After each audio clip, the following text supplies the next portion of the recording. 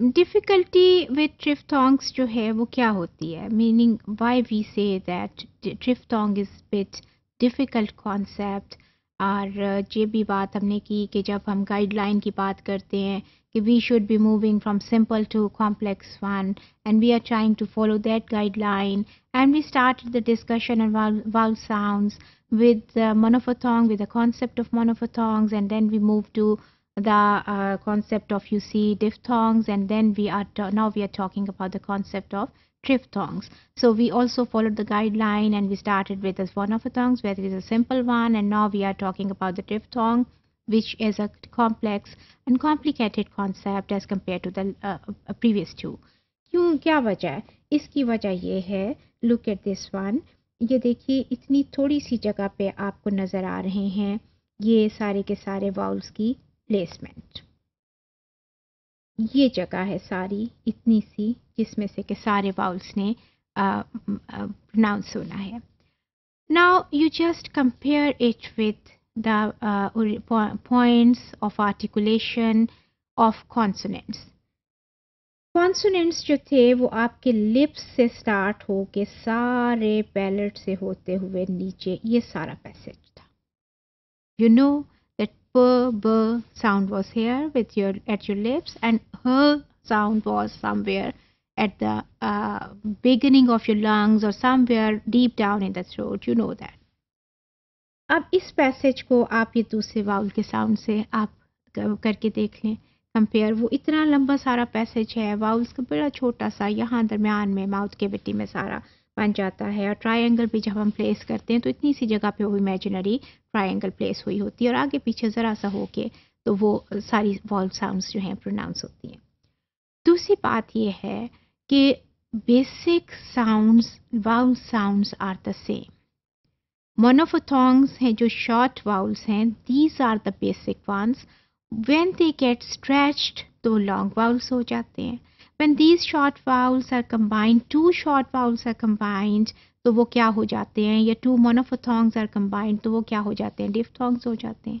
One three are combined तो वो क्या हो जाते हैं? जी, वो ट्रिफथोंग्स हो जाते हैं। बेसिक जो हैं, वो वहीं पर हैं।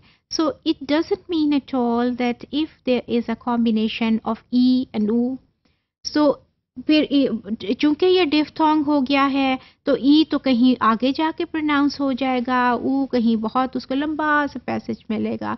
No it's not like that ये भी नहीं हम क्या देखते हैं, ये इस, ऐसे नहीं होता कि अगर ट्रिफ्थोंग हो गया है, तीन है चूँकि तो शायद हमें जगह और ज़्यादा मिल जाएगी no the place and reason remains the same so आप ये देखिए कि इतनी सी जगह के ऊपर अगर सिंगल है तो उसने भी वहीं प्रोनाउंस होना है और अगर डिफ है तो उसने भी वहीं आगे पीछे होना है। अगर ट्रिफ थोंग है तो उसने उतनी सी जगह के ऊपर ही वो आगे पीछे उसने होना है।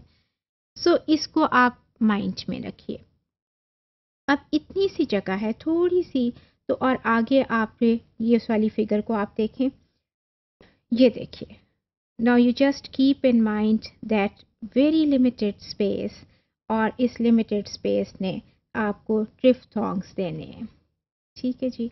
अब उसी लिमिटेड स्पेस के अंदर आप कभी इस यहाँ से यहाँ पे जा रहे हैं, कभी आप यहाँ से यहाँ पे जा रहे हैं। Sometimes you are moving from here to here then you are moving from here to here, you are moving from here to here same place same limited space you have इसकी बिल्कुल इजी एग्जांपल आप ये देख लें कि suppose you have to write down let's say 50 words in the space of 6 by 6 inches and you have to write down the same 50 words in the space of 2 by 2 inches.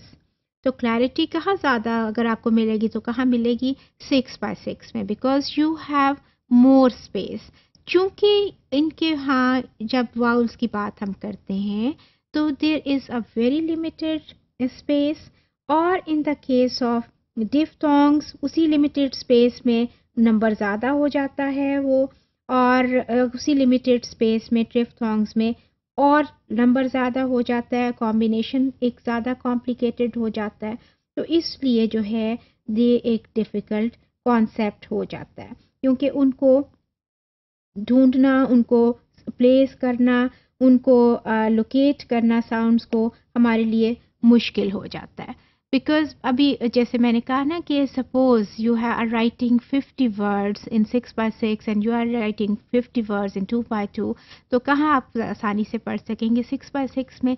Similarly ये जो ट्रिफ्थोंग्स हैं, चूँकि space कम है और sounds का combination ज़्यादा हो जाता है तो it is difficult to perceive it and it is difficult to locate it and it is difficult to understand it.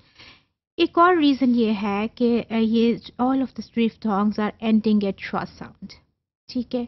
And Shaw जो है सिंगल भी हो ना तो it is difficult to pick it up sometimes confuse बनता रहता है कि इधर क्या, कौन सी साउंड है? Is there some sound schwa के लिए बाज़ दफ़ा ये भी डिस्कशन करनी पड़ती है कि यह साउंड कोई है? जैसे फॉर इंस्टेंस मैं I just give you the example and then बिल्कुल ही उमिट पास दफ़ा हो जाता है ड्यू टू डिफरेंट प्रोनाउंसिएशन हम कहते हैं मैगजीन मैगजीन अक्सर कहते हैं actual pronunciation and the correct pronunciation is magazine ग साउंड के बाद श्वा है, जो कि बोलने में अक्सर उमिट हो जाता है and pronunciation also suffers so schwa के लिए इट सेल्फ वो सिंगल भी हो तो it is difficult to pick it up it is difficult to perceive it and it is difficult to locate it अब और जब वो और कंबाइन हो गया है तो देन तो फिर और थोड़ी डिफ़िकल्टी हो जाती है ना। So this is the reason this is the main reason that triphthong is a difficult concept because in, in a limited space we have to locate and we have to combine three different ठीक है जी? Three different vowel sounds and number two कि वो schwa पे end हो रही हैं तो schwa is already a complicated I अगर सबसे आपको मुश्किल बात लगे ना कि आप कहें कि जी, कौन सी वाउल साउंड है? सिंगल वन जिसको पिक करना मुश्किल है तो आपको schwa is the most difficult one क्यों? क्योंकि बिल्कुल छोटी सी अनस्ट्रेस्ड है, बड़ी लैक्स सी साउंड है। और जो जितनी पावरफुल साउंड होगी ई ऊ तो आप you can easily you can pick it up but as compare to a So it's a very laxed one.